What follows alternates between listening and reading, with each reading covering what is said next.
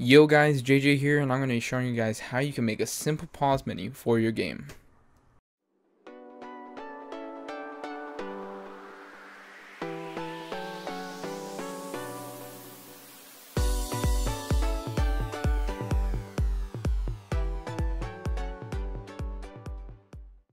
So today I'm going to be showing you how to make a simple pause menu for your game.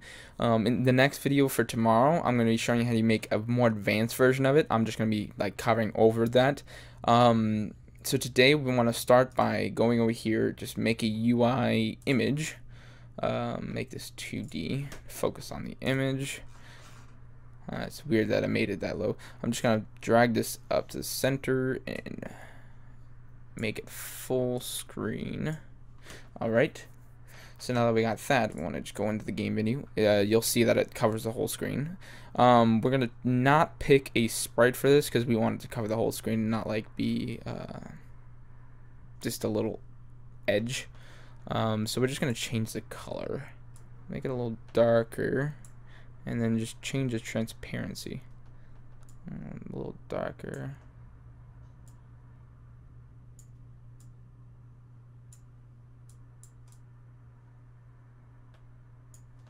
Okay, so I'm gonna play this and see what it looks like when we uh, just uncheck this. Yeah, that's pretty good. Okay, so now that we got that, what we want to do is just change the name. Just make it background, or pause background.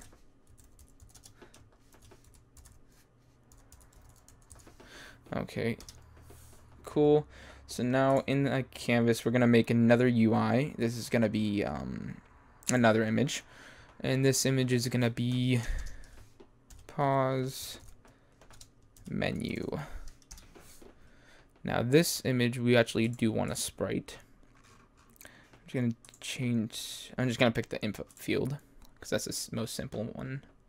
So, I'm just going to make it a little grayer. I don't think I need to make it transparent. So now just change the size of this to whatever you want. It's your choice. Uh, I'm just going to change to that. See how that looks. Make it maybe a little bit bigger.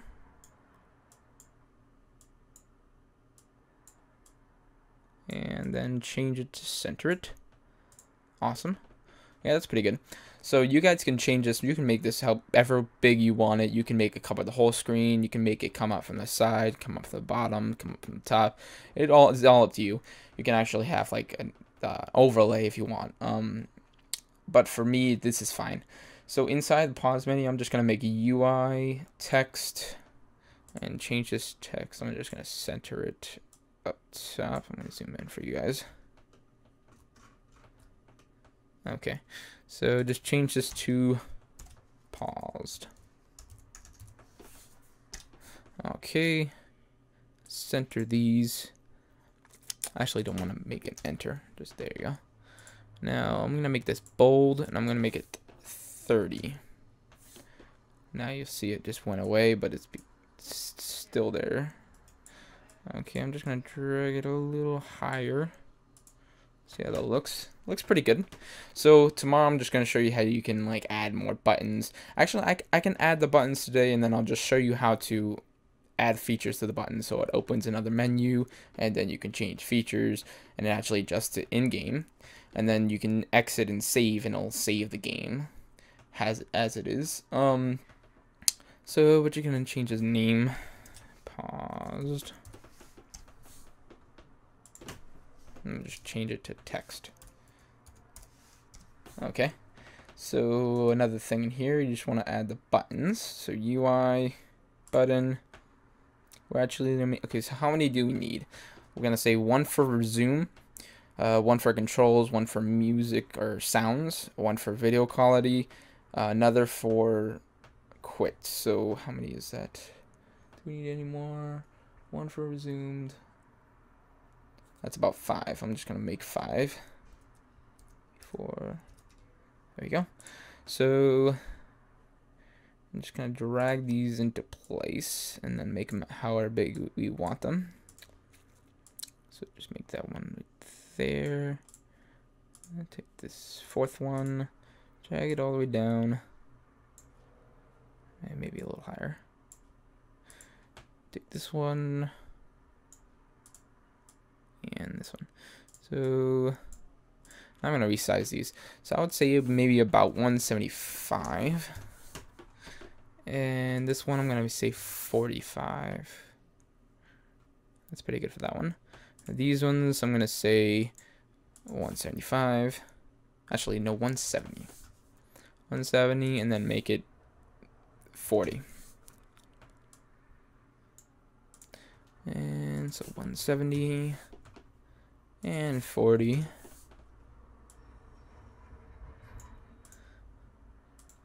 One seventy. I could just do these all at the same time, but I chose not to. I probably should have, but I didn't, so that's all right. So 170 and 40. So actually, I'm gonna make this this first one right. Actually, yeah, come on. This button. I'm gonna make it a little bit longer, so 175. So that this is resume, uh, sounds, video quality, controls, and then uh, save and exit or whatever, um, something like that. So just change the name of these. So this is gonna be resume.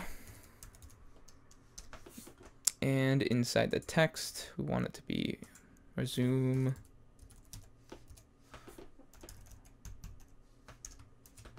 And resume. Okay, so, oh, I don't want to enter. So I'm going to change this for all of these, and I'll be back once I'm done with that. So what you want to do is you just want to make this one sounds, this one um, video uh, settings or something like that, and then this one controls, and this one save and exit. So I'll be back once I'm done with that. So I've finished them all. Also, make sure you uh, make the font size 18 for these four, and then for the bottom one, you want um, 20, just to make it pop out a little more. Um, so this is what it looks like in the game view. If I click play here, you'll see that you well, hovering over the buttons, they show, and then clicking on them, they also show. Um, so that means we don't need to change any of the camera settings. You know how with the um, inventory you have to change it when uh, you're mousing over, but for this you don't. So after we finish that, what we want to do is add the script so that it can pause the game. So how do we do that? What we want to do is we want to put it on something that will end up disappearing. So if we put it on the canvas itself and we go like this, it will clear it out. So we can just add a game object here. Actually, just an empty game object um, outside of this, just outside of everything. And this game object is going to be game controller or game. Um, game controller. Yeah, that's good enough. So game controller controls the game. So add a component. This component's going to be a new script. The script is going to be called um, pause. Oh, no, no space. Game. Pause game. That's good enough for me. Now we're going to use put the script in the script folder. Just go into that. Grab, grab the pause game. Open it up in C sharp. So now what we want to do, we actually we don't need the start menu. That's fine. Um, in the void update, what we want to do is we want to check to see if it's open. If it's not open, actually no. We want to start off with it closed, with it unchecked. Then we're going to save, oh, I'm sorry. We're going to want to go up here and make a variable. So public um, public transform. And this transform is going to be the canvas. Okay. So we're going to grab the canvas, put it in there. It's going to be the canvas. Then up here, we're just going to say if the escape button is pressed. So input dot get key down and the key is the escape button. Oh, what did I do there? There we go. So key code dot escape. Okay. So if we click the escape button, we're going to check to make sure that the um, canvas, if, if it's open or not. So if canvas is dot game object, there we go, dot um, is active in hierarchy, or just active in hierarchy, if it equals false, so if the canvas game object is not active in hierarchy, then we want to set it active. So oh, add the brackets. So we want to set um, canvas dot game object dot active in hierarchy equals true. So I want to set it to active. Actually, no. Maybe that's... Oh, we used active. So set active. If we don't need equals, just true. There we go. So once it's like that, then we want to um, say else. So want to set a lot of other things, but for now we're just going to go like this. So else, else, uh, else canvas dot game object dot set active false.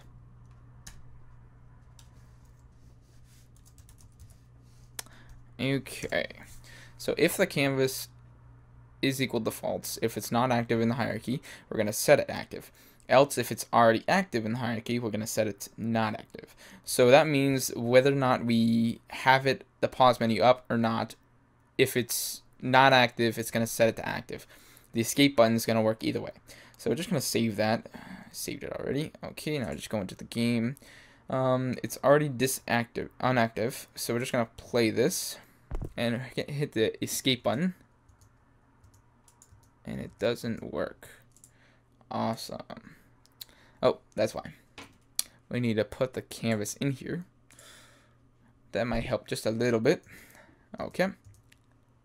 So you see, it, I can still move around. We'll, we'll have to fix that too. But the hovering works, the clicking works. Now, if I, I can set this resume button anytime to um, exit out. But you'll see that it does work. So that's good. Now we can go into here and make it so that it pauses the, um, it sets the world so that nothing no gravity, no wind, nothing will be activated. So how do we do that? We gotta actually set the time scale to zero, so that way the time doesn't go, doesn't move. It won't, you the time scale won't go further. So what we do is we just say time dot time scale is equal to, actually equals zero and that's all you have to do. So the time scale is usually set to 1, which is normal time. You can actually set it higher to make the wind and everything go faster, like gravity and all this sorts of stuff. But if you want it set to regular time, it's 1. 0 stops time. So we can just save this, and actually we want to go down here and set it. Okay, so if it equals true, we set the time scale to 0. Then down here, we want to set it back to um, back to normal. So set you know, time scale equals 1. So that way we can unset it and set it back up. So go back in here. Now if we hit play, you'll see that the grass is moving. So see the grass, look at the grass. Now if I hit escape, it stops the grass. I can still move around. The character controller can still um the look works, but you can't move. You can't go left or right. If you hear that, I'm clicking my WASD keys and nothing works. But you can still look around. you can still click the buttons, but nothing else works. So that's good. That's what we want. Now, oh, I didn't actually show you if I undo it. So I click it, and then I click it again, and it stops, starts back up right from where it left off. So stop it, start it, stop, start, stop, start. Good. So, and I can still move. If I move forward, left, right, and then I pause, and then I try moving, it doesn't work. So if I move and then stop, it stops me from right where I am. So what I can do is I can just stop the um, mouse look function, which is in the player controller, so and the first person controller. So we want another transform here. So public transform, and this is gonna be the player. All right, so the player is just gonna we're just gonna grab the first person controller.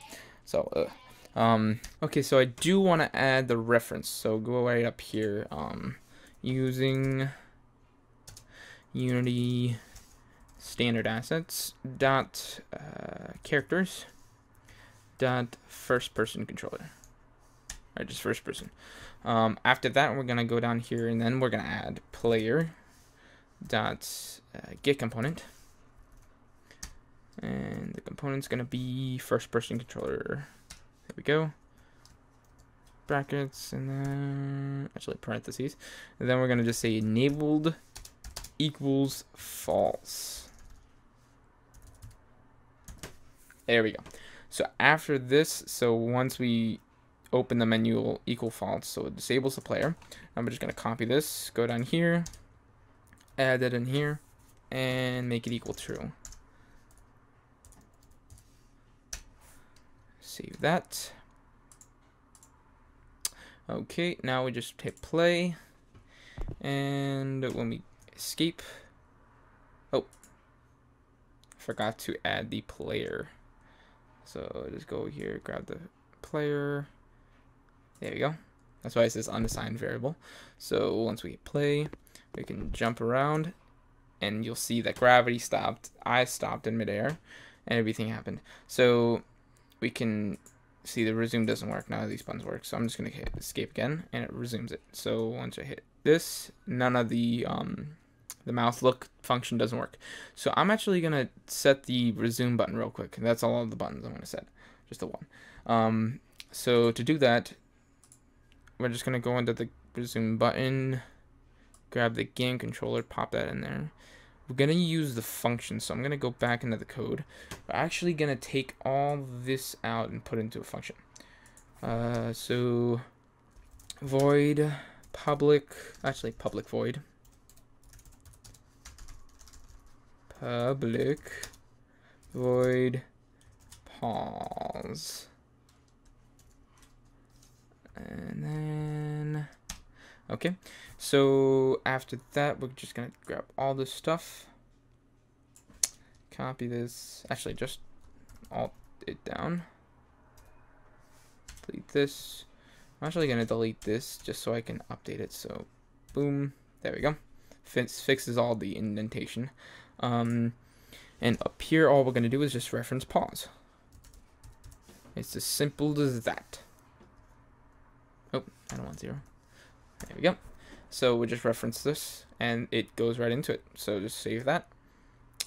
Go over here and just click function, pause game, pause. And that way it will go straight into the function that we added here. So it'll automatically pause the game. So that's all saved. Uh, I'm just to clear that. So I'm just going to play the game and see if it works. So the button should resume the game and it does. Awesome.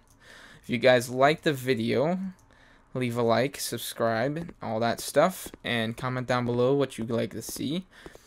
Um, stay tuned for next episode, which is coming out tomorrow, where I show how to make this uh, more advanced, how to add these functions to all these buttons and save and exit and all that stuff.